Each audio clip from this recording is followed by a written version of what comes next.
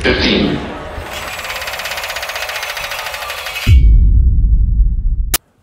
Okay, thank you very much. Um, so, okay, it's a little bit cold up here, um, so I'm going to try and warm you up with some anecdotes and a time traveling tour of London as well. Um, so, what I love about this city, and just look at it, we can see it splayed out into the distance. That's London. Um, just the fact. Now, I'm a historian, so I'm fascinated by evoking alien worlds and trying to understand the mindset uh, of the people who populated these alien worlds.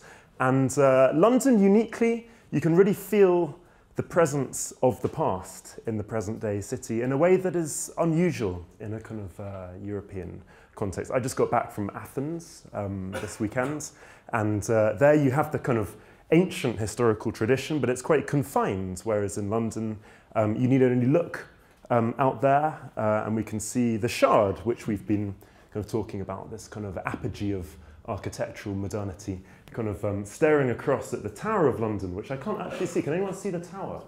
Uh, the tower is kind of down there somewhere, um, built out of uh, Caen stone by William the Conqueror in an effort uh, literally to petrify his power, uh, to lord it over a city that was so proud of its independence and autonomy. And uh, when I was writing this book that uh, Eleanor was mentioning there, um, we were trying to work out how you would actually slide through time. Because um, you can't have a real time machine in a work of popular history, that would be far too cheesy. Um, so we uh, sort of came up with the idea um, of using portals. Um, and uh, again, all you need to do is walk down any of these streets that we can see in front of us, and you stumble across something. That might be uh, a strange street name, uh, it might be a kind of blue plaque or a building, uh, but then you're instantly transported into a different world. Um, so if we begin over there um, towards the Tate Modern, um, you can find uh, a kind of small inconspicuous, you can't see it from here, but, it's, uh, but it is down there. It's a small inconspicuous uh, little alleyway called Bear Gardens. Anyone, anyone know that? It's very near the Globe Theatre. Um, and uh, this has kind of got a secret history, because when we think of Bankside, we think of the theatres, we think of uh, the Globe and the Rose and all the rest of them. But in fact, those timbered spherical theatres were only really there for a period of about 50 years. And uh, they sat cheek by jowl with um, something that was an incredibly cruel, contrived instance of torment, which was the kind of most popular spectator sport for kind of over about 500 years. Uh, and that was, as you know, because um, Rosie foreshadowed it, this was bull and bear baiting. Um, so if you were to walk down there circa 1603, a very different city, the population would be around 200,000. That's including, of course, the city, Westminster, and Southwark. Um, you'd kind of walk down and you'd find this kind of thing that would look like a kind of rickety caricature of a kind of of the Roman Colosseum. And you'd go in and it would be absolutely deafening. It would be the kind of bawling and the screaming and the shouting that would really hit you first. Uh, then you'd be subjected to what you would consider like completely inappropriate and distasteful entertainment. Um, uh, you would begin by sitting in the galleries and you'd see a bear. No, not a bear, a bull. And a bull would have his kind of uh, a chain. And uh, this would be tied to a stake which would be sunk deep into the ground. Uh, and there'd be men with white sticks with their fearsome mastiff dogs prowling around uh, the perimeter. And after a while, the dogs would be released and the whole crowd would go wild. They would scream, go dog, go bull. Uh, and uh, both of these sort of animals would have their kind of snout as close to the ground as possible and they would slither along. The bull would, um, probably, that wasn't the glass, was it?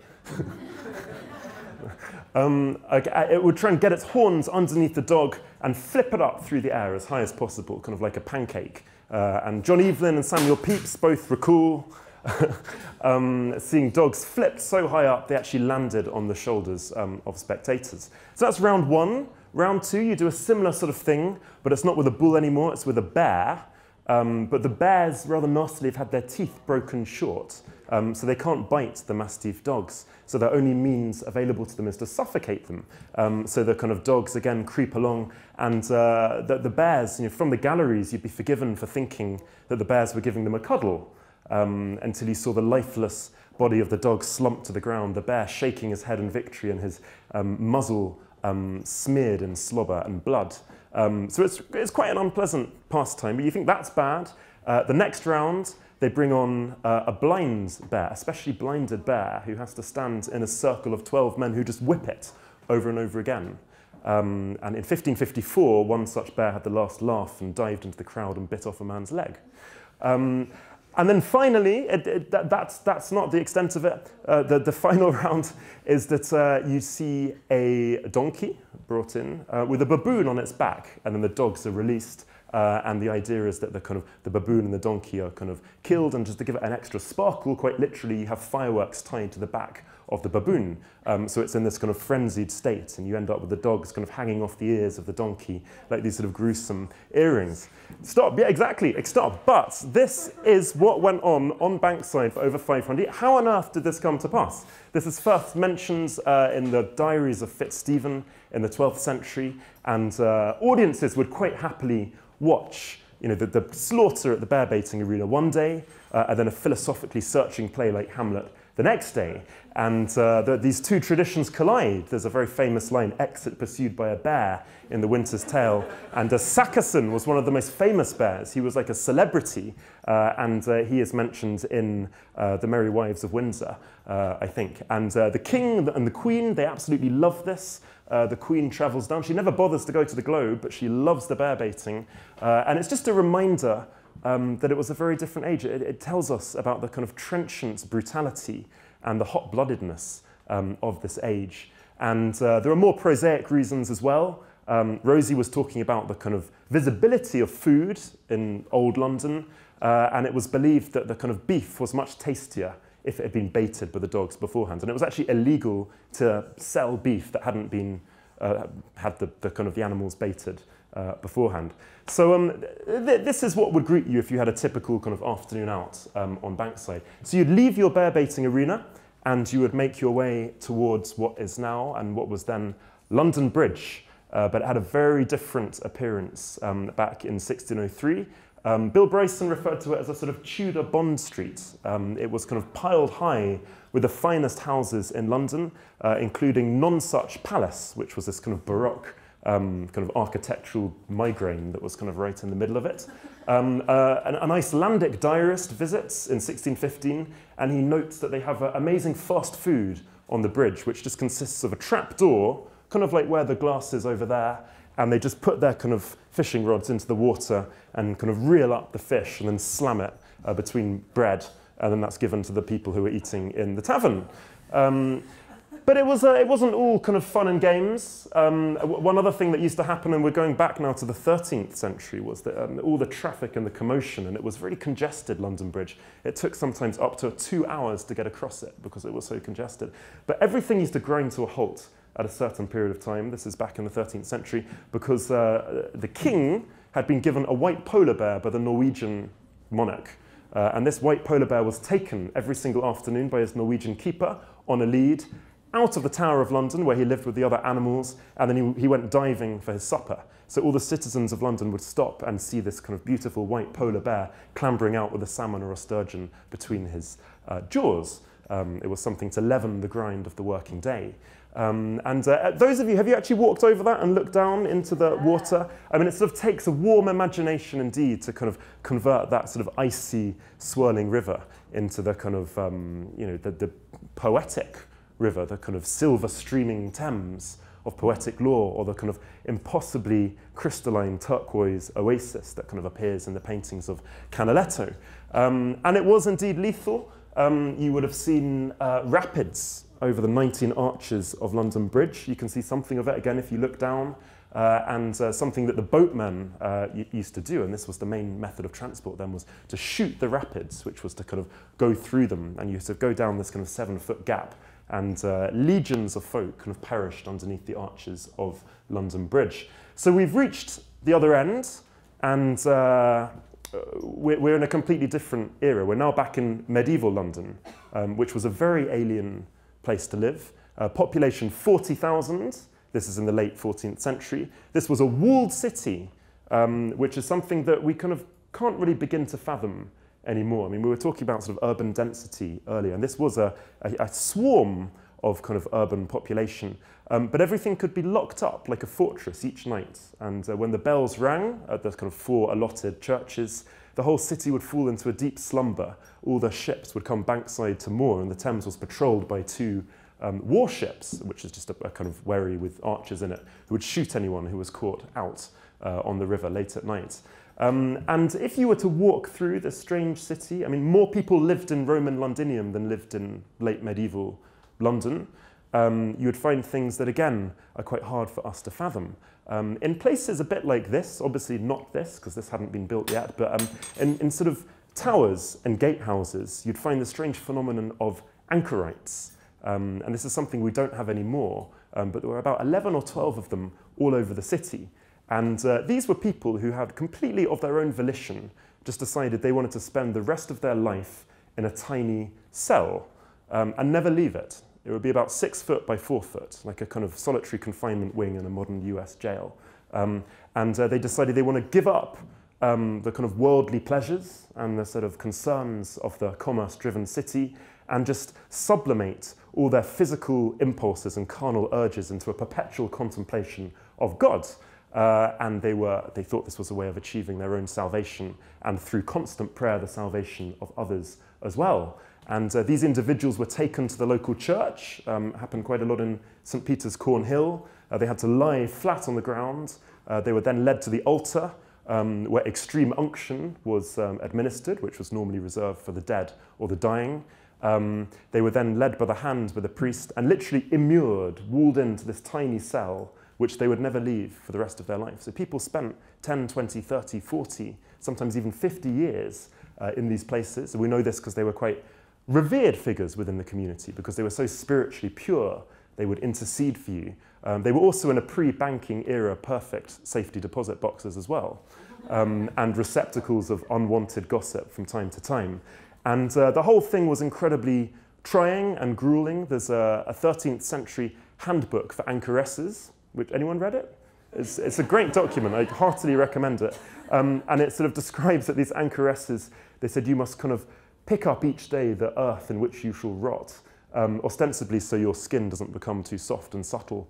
Um, but in fact, it was a kind of memento mori because you're actually staring into your very own open grave. Because when they died, they weren't taken out, they were just buried, uh, and then the next anchorite would come in on top.